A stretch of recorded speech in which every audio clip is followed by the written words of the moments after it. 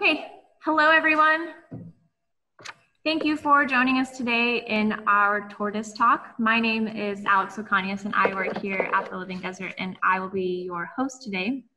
And I'm joined here by four panelists and my co-host Natalie Gonzalez and, and, they will all be introducing themselves to you in just a few minutes here. Um, first, I just want to remind you that we are all here to celebrate Desert Tortoise Week. And to do that, today we have gathered this panel of local tortoise, desert tortoise uh, experts who are here to talk to you all about tortoises, about general tortoise facts and information, um, about conservation successes and, and stories, and then of course how uh, we all as community members can get involved in uh, tortoise protection efforts as well.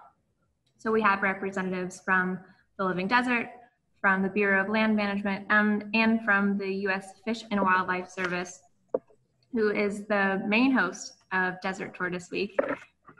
And so we do have some questions prepared for our panelists, but we'll also be gladly accepting questions from our audience as well. So please, uh, throughout the event, we welcome you to submit those questions through the Q&A. So at the bottom of your Zoom screen, you'll see a Q&A button. You can click that, type your question in there, enter it. It might take us a minute or two, but we will try to respond to your question.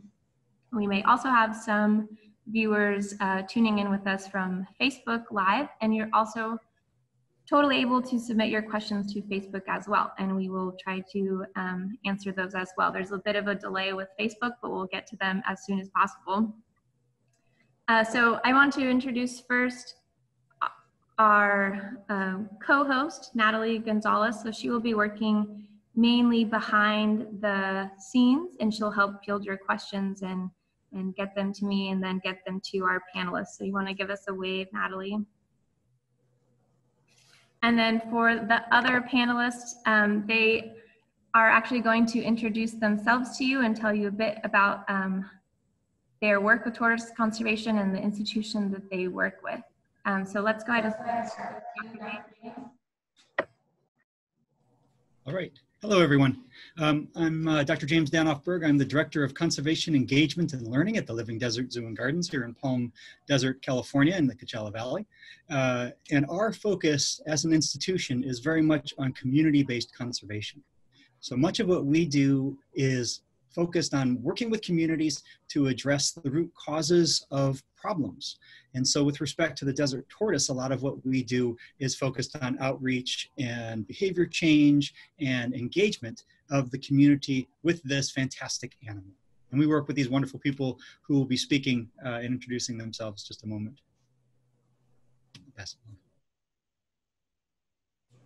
Hi, I'm uh, Vincent James. I work for the U.S. Fish and Wildlife Service in the Palm Springs office. I'm a wildlife biologist and welcome everybody. Thank you for uh, joining us today.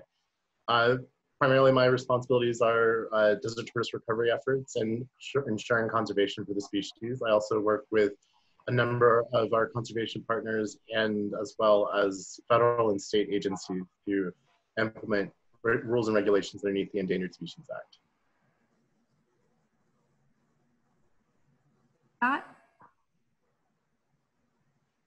Hi, my name is Scott Hoffmann. I'm also at the Palm Springs uh, Fish and Wildlife Service office uh, alongside Vince. And um, we do similar work, but, but also pretty different work. We live, uh, we work in different parts of the desert uh, where desert tortoises um, exist. Um, I also get to do a lot of work with other species, which is fun and keeps things diverse. Um, with, at, with tortoises specifically, I, I do a lot of work with the Department of Defense and other federal agencies such as the Bureau of Land Management. And um, prior to my career with the service, I was actually a, a field biologist, uh, consultant, and did uh, spent a lot of years working with desert tortoises in the field.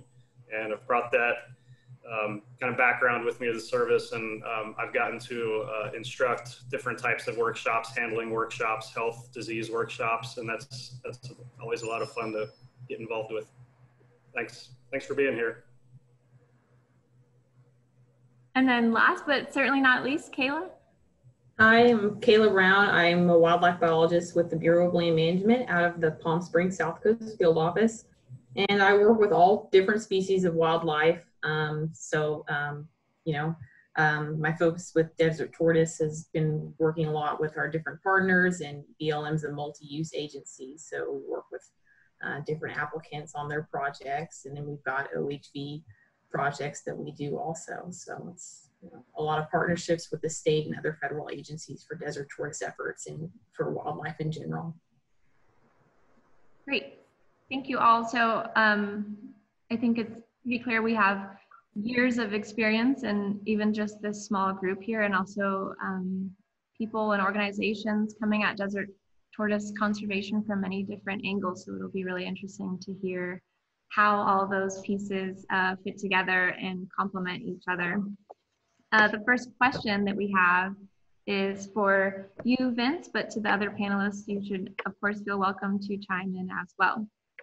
So, Vince, the desert tortoise must be a pretty special and iconic species for us to dedicate a whole week to celebrating it.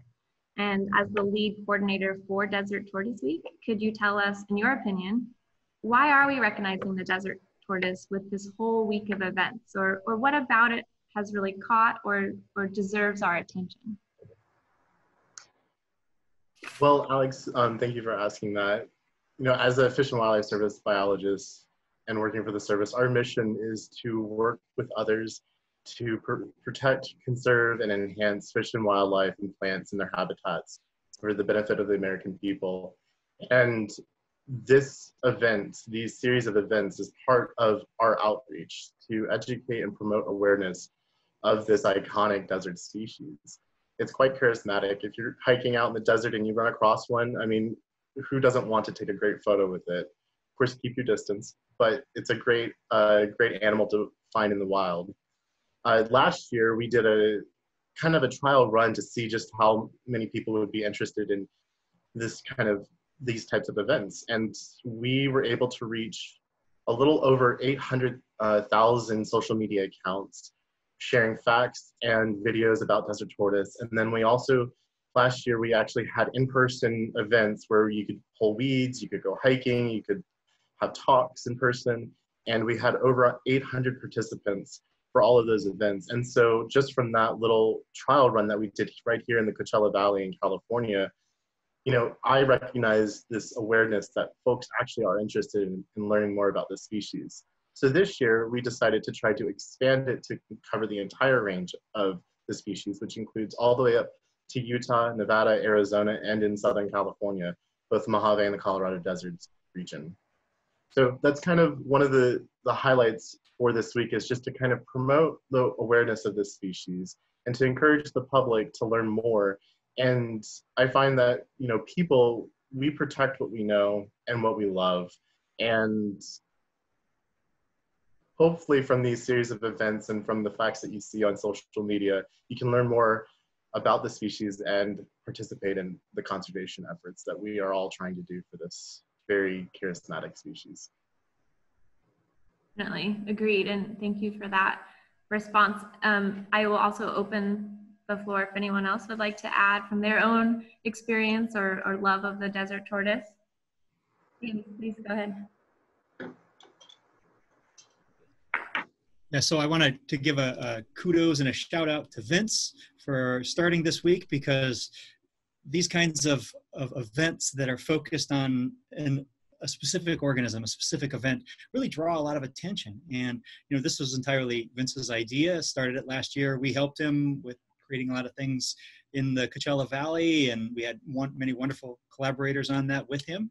Um, but uh, this expansion across the whole range is a great thing because tortoises are declining across much, if not most, of the range of uh, the Southwest. So let's get some people passionate about this awesome organism. So that's off. Indeed.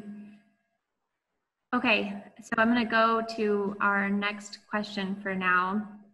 Um, this is for all of you. Um, maybe Kayla or Scott, you might want to start off with this one. Uh, so each of you is working to encourage tortoise protection or conservation in some capacity or another, and that may be from an ecological research side of things, um, could be working with policy change or um, But we do a lot of the living desert, a lot of public outreach and education, just to name a few of the many approaches that, that we take in desert tortoise conservation. So could you each take kind of a few minutes to explain the approach through which you support tortoise conservation, as well as why this piece is so important to the, the puzzle of desert tortoise conservation. So Scott or Kayla, do you want to take a first stab at this one? I know that's a big question. You work on so many things. So how do you uh, narrow it down for us? Um, you know, one of the main focuses that um, I think is important is um, habitat restoration. So, you know, as multi-use BLM, we have OHV activity that can create incursions in habitat, and so we can apply to off-highway vehicle grants to then restore those incursions and help um, restore that, you know, habitat for desert tortoise. So we've partnered with um, the Farmers Institute for Education, Leadership, and Development, FIELD for short, and they were awarded an OHV restoration grant in the Big Morongo Canyon area of critical environmental concern. So starting last year, they, they were going out and, you know, vertical mulching and broadcast seeding and putting up small boulders um, around uh, OHV incursions off a designated OHV route. So that's, you know, it's really been positive to see the, those habitat improvements um, and we've also partnered with you, the Living Desert. You've outgrown plants for us, um, and we're planning to pick up those plants and start putting them in that habitat that we've begun to restore. So we're really excited for that. Um, and, you know, um, just applying for future OHV grants and seeing where we can continue to implement habitat improvements. I think that's, you know, a positive way to help increase the population um, or at least help stabilize the decline of desert tortoise so we can get in those native plants, help prevent you know, the spread of invasive species, um, and helps spread awareness with our OHV users also. So part of the grants we can do is like ground ops grants is um, we can put up route signage or update our kiosks and brochures for users and we like to include information about desert tortoise on those. So we can see like hey look under your vehicle for desert tortoise when you're out in the desert or you know ways to when you're looking at um, uh, if you find a desert tortoise how to you know keep your distance but enjoy seeing it. Um, so things like that yeah definitely. I would think that that habitat restoration part is especially key as we continue to lose more habitat that, that the habitat that remains is in really good condition like you said with all those those native plants. So that's that's great. Um, scott what about yourself? Sure thanks. So besides the two words desert and tortoise i think the word that y'all are going to hear maybe most often today would be and kayla mentioned it a few times is partnerships um, so I'll describe just really briefly the kind of work that I do with my agency and, and how that really just completely relies on building partnerships and maintaining those for, for conservation of desert tortoise as well as a lot of other species. Um, so at the Fish and Wildlife Service, we, we do a lot of regulatory work and um, this, you know, this would be permitting projects, working with other federal agencies, working with project applicants, to help them design projects and implement projects in a way that has the most minimal effects on a landscape or on a species. And you know, when we when we authorize projects, um, you know, in return, you know, we're we're looking to get conservation value out of a lot of this work, and and so building these partnerships with you know project applicants and agencies in the state, you know, California Department of Fish and Wildlife, and you know, I could go on and on and on, but um, building and maintaining these partnerships is, is really critical to the work that we do. Um, and a lot of good conservation value comes out of that. Um, besides, you know, the regulatory side of things, which is, you know, projects. And like I mentioned, I do a lot of work with the Department of Defense. Um, we spend a lot of time thinking about recovery actions and the recovery of the desert tortoise. That's the, that's the ultimate goal. When we list, when we list the species under the Endangered Species Act, the goal is then to work to conserve that species um, until it no longer needs the protections of the act. And so that's what we term recovery. Um, so again, with recovery, you know, we work with a multitude of partners to implement projects. Uh, many, you know, similar to the ones Kayla described, habitat restoration, um, closing, you know, illegal OHV routes, uh, working for invasive, you know, plant species management, things like that. Um, but we have a, you know, a whole prioritized list of recovery actions for the desert tortoise. And, um, you know, that, that really provides us a framework for, for, the, for the conservation work that we do. Um, some other things that we do as an agency, uh, public outreach is also a very critical component to con uh, conservation. Uh, we work with a lot of really cool organizations like the Living Desert, who's hosting this outreach event. um, um, you know, just, just, educating people about things like, you know, raven predation of, you know, uh, desert tortoise hatchlings and, you know, uh, the, the, consequences of invasive plants and what that means to a desert tortoise. Um, you know, those are really, these really important things that, you know, we need to help educate people on so that they understand, you know, better the, you know, just the general environment that they live in. Um, and then can make a connection with it, I think. Um, you know, some other outreach events that I've participated in, you know, there's, you know, day classes at, uh, at schools such as Copper Mountain College. You know, they do a desert tortoise conservation uh, course every, uh, normally every spring. They had to cancel this year, but you know, it's a day where, where you know, members of the general public, um, you know, visitors to Joshua Tree, um, you know, you know, people that work for agencies, they all come together and just spend a day really, you know, learning all about desert tortoise conservation and life history and desert tortoise characteristics. Um, you know, we, we host workshops for field biologists. We, um, you know, do a number of different events throughout the year. Um, one thing I guess I know something that I kind of do, it's not really part of my work, but on the side is the rehabilitation of injured uh, wild tortoises. Um, you know, one of one of I think the big threats to tortoises uh, across the you know across the desert, uh, the broader desert, is uh, vehicle strikes, and you know it it might not surprise all of you, but it might surprise some of you how many tortoises um, you know we get reported to us that are hit by vehicles each year, and unfortunately many of those don't survive, but you know occasionally some do, and um, I've built a pretty good partnership with a couple uh, veterinarians and with the Marine Corps in particular. And we've, we've now rehabilitated probably between just in the last handful of years, 15 to 20 tortoises that were probably wouldn't have survived without some kind of an intervention. And, um, you know, our goal there is to rehab them to the point where we can release them back into the wild. And that's a really, really cool program that, that I've been fortunate to be involved with. Um, so I'll leave it at that and give someone else some time. Thanks, Scott. And, I, and I'm, I'm going to come back to you um, after we hear from James and Vince. We actually have some questions about um, rehabbing tortoises. Great. I guess I'll, I'll go next. Um, Scott fairly covered everything that we do in our office fairly well. The only difference between Scott and my, my positions is that he works up in the Mojave Desert and I work down in the Colorado Desert, which includes most of Eastern River, Eastern Riverside and Imperial County, um, where the range of the tortoise extends towards the south, towards Mexico. Um, part of our conservation efforts and a lot of the regulatory work that we do is we work with a, number of federal agencies such as Bureau of Land Management, um, National Park Service, U.S. Fish, U.S. Forest Service, and through those regulatory processes, we develop conservation measures to try to figure out ways to um, decrease impacts to desert tortoises for, that um, may encounter from those projects. Um, specific projects are along the I-10 uh, corridor that I'm sure many of you have driven across and have seen all of these solar facilities going in. Well, a lot of that is desert tortoise habitat. And so we've worked with BLM, we've worked with developers to develop programs and measures in place to help reduce the impacts to desert tortoise.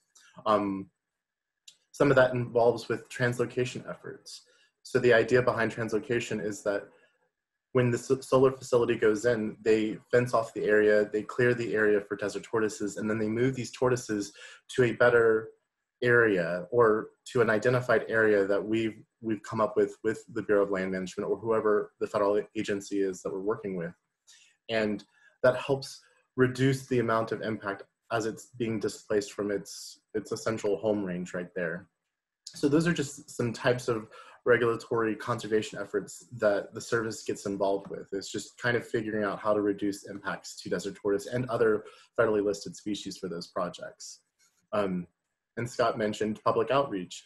you know, I think I think that's that's kind of a, a, core goal that I had envisioned when I joined the service about five years ago is is that you know we need to make sure that we're being very transparent with the types of work that we're doing and the conservation efforts that we're doing.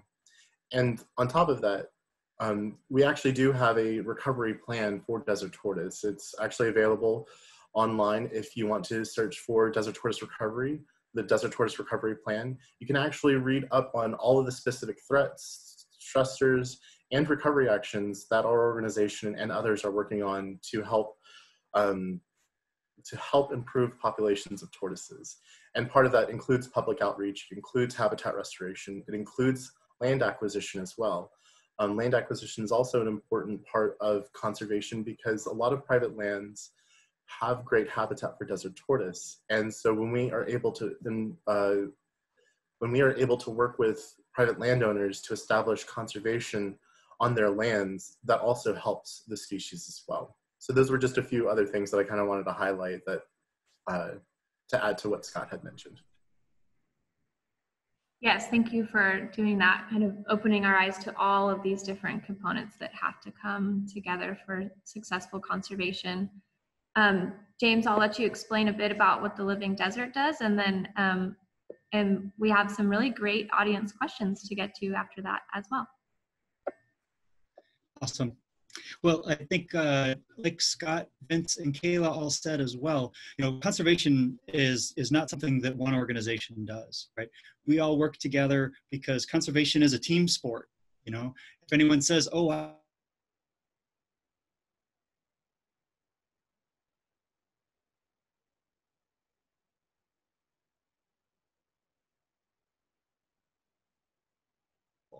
And that uh, recovery plan that Vince mentioned has really been an important tool for all of us here and who we collaborate with for figuring out the best ways forward.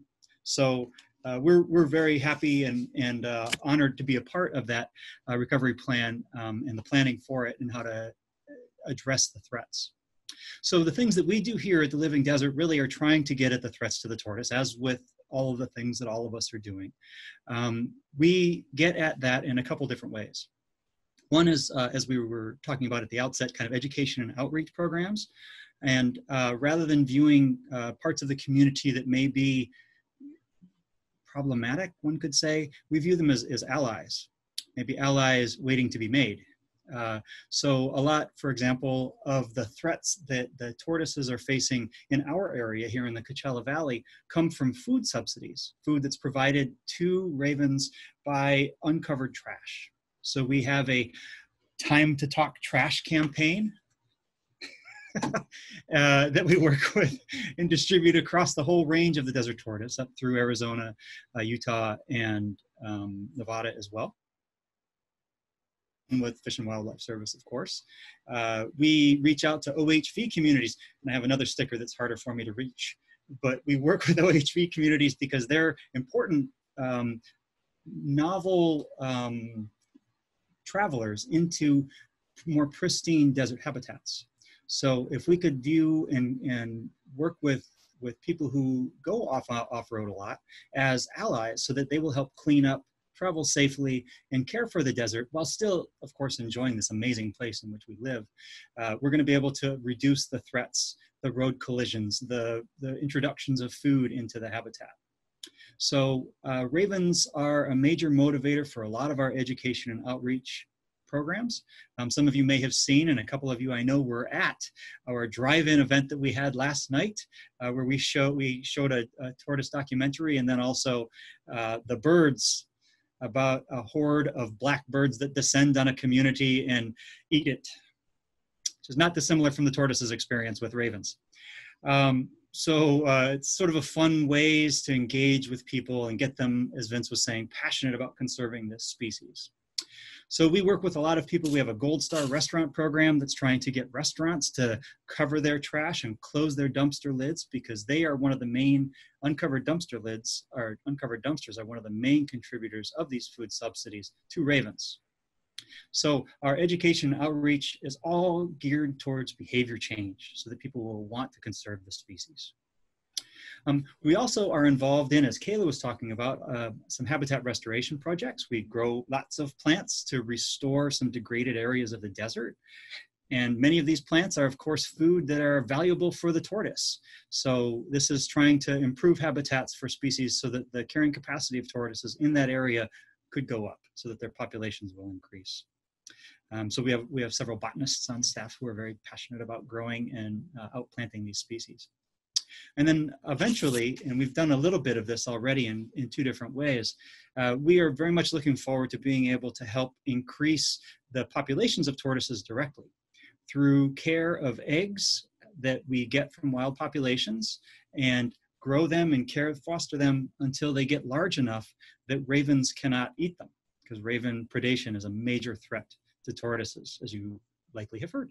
Um, until they're about five or six years old in the wild their shell can be pecked through and consumed from the inside out they're just eviscerated by the ravens so by rearing animals in, in under human care, we can actually get these animals to be large enough and their shells thick enough and hard enough that ravens can't get through it in only two or three years, based on some recent data that, that a lot of our colleagues have been working on.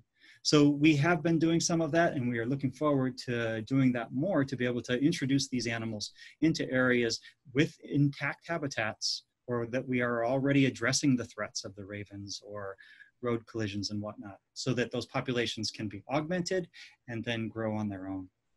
Because really, the best thing for all of us is when the desert tortoise becomes secure enough in its home range that it does not need to be listed. And all of us don't have to do the things that we do. Mm-hmm. That's the ultimate goal for all conservation projects. To work ourselves out of a job. To work ourselves out of a job. Exactly, yeah. Alex. Exactly. Unfortunately, there's no shortage of other jobs that we could get involved with. Yes, well, uh, thanks, James, for filling us in on the Living Desert work. Um, I'm going to move us forward to the audience questions. We have a few uh, that we can get to, and, and, remember to the audience as well that you can submit your questions uh, on Zoom through Q&A or also directly onto our Facebook Live, and we will attend to them. Um, so I have a few here, and I actually have one all the way from Scotland. Um, I'm not I'm not going to get to that one just yet. So the first one, um, well, Scott, I know you mentioned uh, working with rehab earlier. This is a rehab question, but of course, all of you should feel uh, welcome to answer here. Um, this is the question. It seems well established that a desert tortoise cannot be released once someone removes it from the home habitat. So could we go into just a bit of detail on the science on this and then there's a question, would we actually be able to rehab tortoises for release if we were able to invest more time and funds? Um, or is it possible that no matter what we invest, we can't get to that rehab? So kind of what's, what's the issue with, with rehabbing tortoises, getting them maybe from the wild and back out into the wild? Okay, so there's a there's a couple. That question makes a couple of good points that I'll touch on. Um, I guess when when the person asks about tortoises after being removed from their you know home range, their home habitat, whether they can be placed back in the wild, um, I think the you know one one of the primary concerns um, that kind of drives I think you know questions like this is uh, uh, various types of diseases that tortoises can transmit to each other and then within populations. Um, whenever a tortoise is brought into captivity, there's always that concern. Captive tortoises tend to carry uh, these you know different types of viruses, different types of pathogens more often than wild tortoises. And so when wild tortoises are brought in um, to a captive situation, a lot of times they're exposed to these captive bred animals that can carry these pathogens. And then the fear is that, you know, if placed back in the wild, then they're going to carry that pathogen back into the wild population. And so we have a very robust disease testing uh, protocol. Um, so when we're rehabbing tortoises, um, you know, um, you know, testing them for the diseases that we know about is a part of that, and we wouldn't release one that, that was infected. We've we've found, you know, if you if you're familiar with the term translocation, that's you know taking an organism, an individual, out of its home range and and moving it to a different location for whatever reason. It could be because of a solar project, it could be because of military training, et cetera um, you know, we've been collecting years and years of data on translocated tortoises, and we've found that they're really, really resilient animals. um, they're they are they are pretty capable of reestablishing themselves in a new uh, range in a new uh, part of the desert when they're when they're placed there. Um, so rehabbing is definitely um, a useful and effective tool um, as, as, long as you can get the tortoise back, you know, to a healthy state where it can fend for itself and fend off predators and dig burrows and find food and do those things. Sometimes when they're injured too badly, they they're just not going to heal to the point where they can do that. And so we, you know, we wouldn't put them back out in the wild. But um, you know, I have many examples of tortoises that, you know, I mentioned before, otherwise wouldn't have survived, but after a couple years of intensive rehab work, um, they do just fine when we put them back out. So that's, that can be pretty successful when it's done properly. Yeah, go ahead, James. Yeah, I'd like to, absolutely true, Scott. Um, you know, one of the things that I, that I didn't mention that we do that complements what Scott's doing too is that um, we're a, we're sort of a halfway house at the Living Desert for pets that people can't keep because they're moving or because they're having other issues.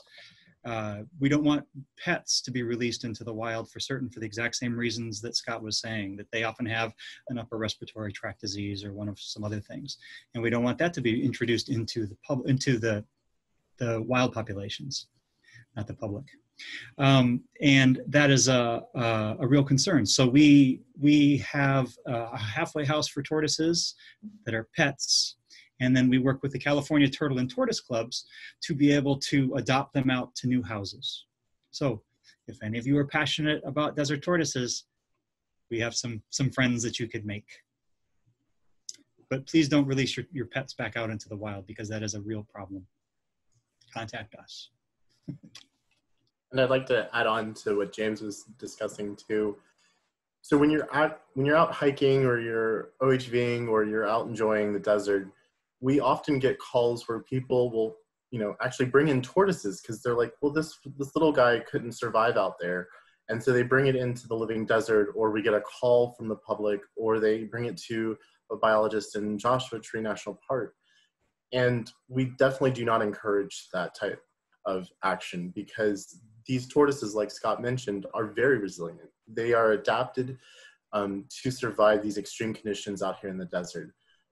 If you see a hurt tortoise, if you, by all means, feel free to reach out to your local conservation group or to the service or to the Living Desert and you know just ask what what you can do in response to the tortoise Ideally, we would like to have a GPS point if possible and a photo. Those two, I, two items would be great to help us learn more about the range of tortoise as well as what other potential threats might actually be out there and impacting these species as well. Great, thank you all for, for your thoughts on that one. Um, I, have an, I have another question here. Uh, Kayla, you might want to take a crack at this one, or one of our biologists here. And I'm glad that this question came up. Um, it's not a topic we've really talked about yet, uh, the topic being climate change. So the question, as a species whose sex is determined by the temperature during the incubation period, what can be done to mitigate climate change impacts on sex ratios? Uh, you know, there's when they're out in the climate, there's not a lot we can do to control the out the outdoor temperature. But I think, um, you know, having raising desert tortoises in captive environments and then releasing them in the wild once they their shells ossified, something like that. If that's a temperature controlled uh, repair possibly skewed sex ratio that could be occurring in the wild. Um, that's kind of what uh, Scott was talking about earlier with having those desert tortoises um, to to release later. So. And I'll you know, jump in and say, you know, with tortoises, when we think about, you know, tortoise reproduction, you know, the females dig a nest. Uh, sometimes the nest is inside a burrow. Sometimes the nest is outside of a burrow. Sometimes the nest is right at the mouth of a burrow. Um, nests can be at different depths within the soil. Um, I think that, you know, there's a lot of unknowns here. Um, I don't have a really good answer for how to mitigate climate change broadly, but, you know, there's a lot of questions around, you know, as a species and considering a tortoise's biology, are female tortoises going to figure this out? Are they going to start laying their eggs deeper in the burrow, deeper underground where the temperatures are cooler? Are they going to, you know, shift the time of year when they lay the eggs? Um, are they going to migrate their range north or up, you know, upwards in elevation to find cooler areas? These are all really good questions, and I don't know that we have a lot of information out there now, but I guarantee you there are people working on that. to, to follow up too, um, I think that we we all do know how we can address this issue personally as well, because climate change is a real thing, and we all know things that we can all do to reduce our impact on worsening climate change. That's all that's going to happen. You know, drive less, you buy less, um, live more, but with fewer things. Um, you know, use green power, EVs, transportation is a huge part of our footprint ecologically and the amount of, of carbon that we put out into the environment. So the less carbon we can emit, the better the planet is. So we can help tortoises by bicycling. How about that? Let's bicycle for tortoises, just to get to work and whatnot if it's possible. So there, there's a lot of things we all know. There's those these kinds of stories are all over the public. But you know, in addition to working with the tortoises through uh, breeding them in, in uh, under human care, expecting that the tortoises being able to deal with the climate change themselves, which is a very good points. Um, we need to take action on climate change, and this is our opportunity to do so. Definitely. And then I'll, I'll jump in and add a few things. So as wildlife biologists for the service, when we are looking at development projects or just projects in general, we do consider climate factors in our analysis. We consider precipitation, we define it as precipitation and temperature essentially. And we personally can't do any mitigative actions for those types of changes, but we can at least acknowledge and recognize the data that we have had to support what type of climates are being experienced in the area. And so with that, um, that's one way that the service kind of helps address and, and look at climate factors. The other thing James touched on is, you know, doing your part as the public, you can also make sure that you, you pick up your trash or you cover your trash. And do those types of activities that help support well high quality habitat for not only desert tortoise but you know for us as well so that we can enjoy our pristine environmental uh, the pristine environment. Thanks, Vince, for adding on to that. I'm going to um, share our question that came in all the way from Scotland uh, now. And if I could, if maybe just one of you could give us a quick answer for this, and then um, just because we're kind of getting to the end of our live panel today. And then after that one response, I have uh, one kind of end, ending final question uh, for all of you. So the question uh, that came in through Facebook uh, from Graham is, do you think that the desert tortoise gets less publicity when we've had uh, slightly more visual or dangerous or legendary desert animals in the area?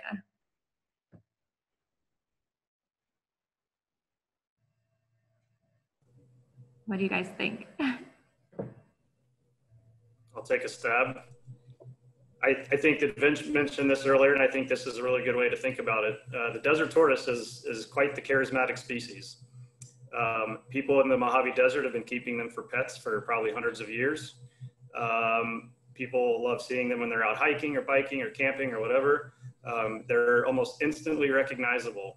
Um, and I think that, yeah, they just, they, are actually, uh, you know, comparing them to other species and, you know, the species that get, you know, all the press and the attention, I actually think the desert tortoises are right at the top of that list. I think it's such a broad ranging species. I think turtles and tortoises across the world are some of the most threatened animals that there are. Um, and I think that, you know, the desert tortoise is just, um, you know, people, people really seem to respond when they see a desert tortoise.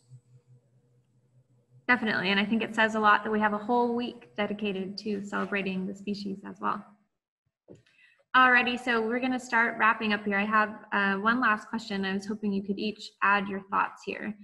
Uh, in a way, we've we've touched on it in a in a few responses already. Uh, kind of the main purpose, or one of the main reasons that we're all here today, is to engage our wider community, right? To um, come together and learn about what we can all do to protect this beloved species, the desert tortoise. Um, so we've mentioned a few things that people can do already to help us conserve this species. Uh, for example, acting on climate, covering your trash.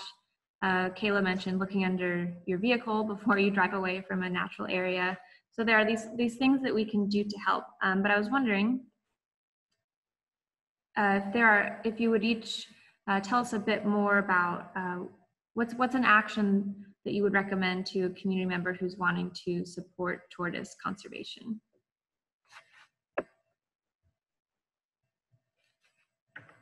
And if you feel like we've checked that box already, um, I know there's some other things that we could mention, but um, I, I think it would also be helpful to talk about kind of what, what hope do you have in tortoise conservation or what, what gives you hope that we can continue to protect this species um, in attempt to kind of prevent further decline? I'll, uh, I'll go first. So, you know, this whole week has shown that there is a lot of folks who work with this species and who care about this species. And even though we are going through a pandemic right now, we are still capable of pursuing conservation efforts. And everybody can do their part to help promote conservation in general, you know? Um, as I mentioned earlier, picking up your trash or covering your trash um, while you're hiking, even pack it in, pack it out. Um, if you're hiking on a trail and you see trash, pick it up as well. Those are little actions that can really help help improve the quality of habitat for all desert species. You know, we, we talked about how desert tortoise is a charismatic species. It's also kind of an umbrella species too, because all the protections that we provide to desert tortoise extends to all of the, the plants that grow out here, all the beautiful wildflowers that come out, um, and just a number of different species involved. And so the hope that I have is that we continue doing this on a regular basis and that next year we can you know, have in-person events where we can pull weeds or we can go hiking and have discussions with the public and interact with people. But in the meantime, it's very helpful to see how many people have involved with, the, with this effort, even though we are going through a very stressful and tough time this year.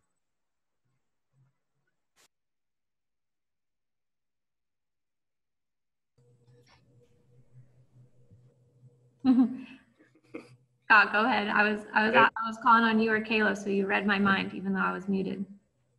Okay, so I'll, I'll throw it quickly. In addition to what Vince said, um, you know, I think that you know, as, as a member of the public, we we can all educate our friends, our family, our neighbors about some of the things we've talked about about climate change, about conserving habitat and protecting habitat for any species, and how important that really is. Habitat loss and habitat fragmentation, habitat you know, just um, deterioration um, is probably one of the leading threats for most of the species that, that our, our collective organizations work to conserve and protect and uh, recover. Um, I think that supporting organizations that do that kind of work, such as the Living Desert, they do amazing work over there. Um, there are other organizations in the desert, uh, I'll name a few. Uh, Mojave Desert Land Trust, Transitions Habitat Conservancy. In my mind, are, there are two of the organizations that are just doing tremendous work for the desert tortoise. Um, they acquire habitat, they restore it, and they protect it in perpetuity. And, and, and that way it, it's left in place and it's left intact for the species that depend on it. So I'd say education and supporting the types of organizations that are doing that kind of work are really critical. Definitely. Um, Kayla, what other thoughts do you have on what, what the community members can do or, or what gives us hope to keep protecting the species? You know, I, I do think education is a, a big part of spreading awareness about desert tortoise. I always, you know, when I'm out talking to the public and people find out I'm a wildlife biologist, they always ask, you know, what species do you work with? And so I tell them about desert tortoise and they're like, oh, you know, I, I didn't know about tortoise or so I try to tell them, you know, that that species is out there and current threats and things they can do, and or where they could go and see a tortoise. You know, we've got all the desert that they can go and explore and maybe see a tortoise in its natural habitat.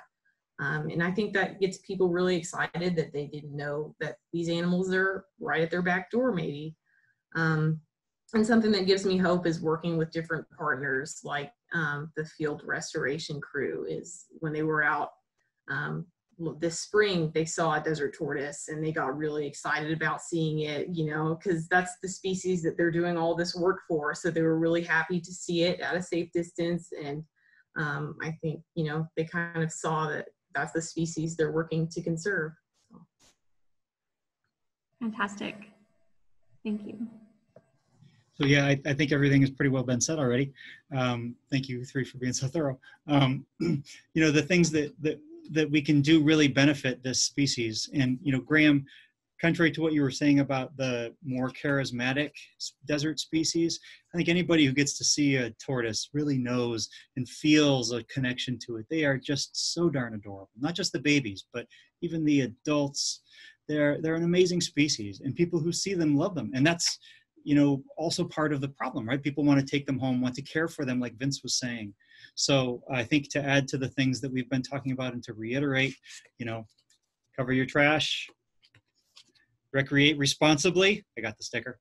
Uh, recreate responsibly and clean up after yourself. Go out and enjoy the deserts that we live in and appreciate the animals. But like Kayla was just saying, appreciate them from a distance. These animals are adapted to this ecosystem. So I, I actually have great hope for the tortoise because they are such an amazingly charismatic species. And I think the more people are aware of how great they are and the important roles that they play in creating habitats for other species, through the conservation, also the digging of their burrows that makes it possible for like burrowing owls and many other species to have homes. Um, I think we will win the public over. We need advocates, and everybody who's watching this, you're now an advocate. Your job is to go and talk to people and tell our story, tell the stories that we've been telling here. That's the future. Thanks. Indeed. Well, I think we're just at the end of our scheduled time for today. So on behalf of the Living Desert, thank you, Kayla, Scott, Vince, and, and Dr. James for joining us today and helping us learn about the desert tortoise and what we can do to protect this species. Uh, thanks also to the audience for tuning in, uh, for sharing this this moment with us, and for giving us your questions. Uh, we really appreciate that. So if you have more questions, please feel free to comment on that Facebook uh, link with the live video and, and we will get to them and follow up with you. Otherwise, we hope to see you at the Living Desert, of course, and then also hope to see you out there enjoying our native desert, hiking on trails, seeing wildlife, enjoying wildlife. Uh, so thank you for joining us today.